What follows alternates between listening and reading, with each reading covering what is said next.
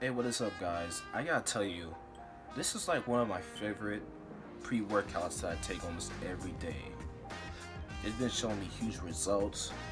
I've been grinding hard every day. I've been getting a lot of energy because of it. Like, I don't even need coffee in my life in the morning when it comes to going to the gym.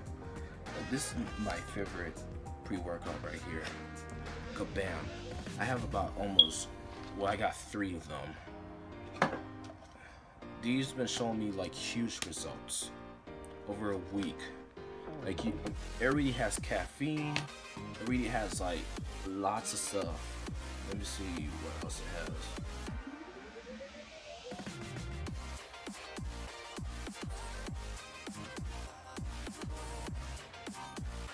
It's a lot of eating, but it has everything that I need to succeed throughout my day for a workout. So I hope you guys, you know, try one. I'm not advertised by them. I'm just showing them huge appreciation for making these type of pre-workouts. I really like it. And, the, and it's called C4 times 50. I tried the original one. I like that too. So that's all.